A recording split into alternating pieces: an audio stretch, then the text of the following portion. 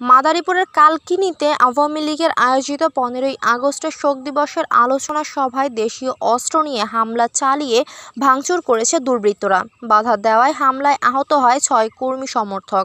মঙ্গলবার বিকেলে কালকিনি পৌরসভার এক নং ওয়ার্ডের পাঙ্গাশিয়া এলাকার রেজিস্ট্রার অফিসের সামনে এ ঘটনা ঘটে। ঘটনাস্থলে মোতায়েন করা হয়েছে অতিরিক্ত পুলিশ।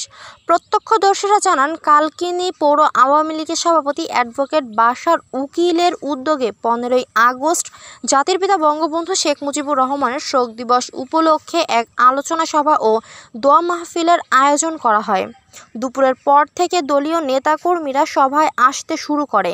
বিকেল সাড়ে চারটার দিকে দেশীয় অস্ত্র নিয়ে একদল দুর্বৃত্ত আয়োজিত সভায় হামলা চালায়। এ সময় বেশ কয়েকটি ককটেল বিস্ফোরণ ঘটানো হয়, পরে ব্যানার ফেস্টুন ও মঞ্চ ভেঙে চুরমার করে ফেলে দুর্বৃত্তরা।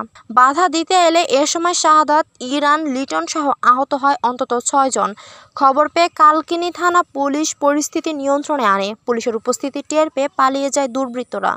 ঘটনাস্থলে মোতায়েন করা হয়েছে অতিরিক্ত পুলিশ। এদিকে আহতদের কালকিনি উপজেলা স্বাস্থ্য কমপ্লেক্সে ভর্তি করা হয়েছে।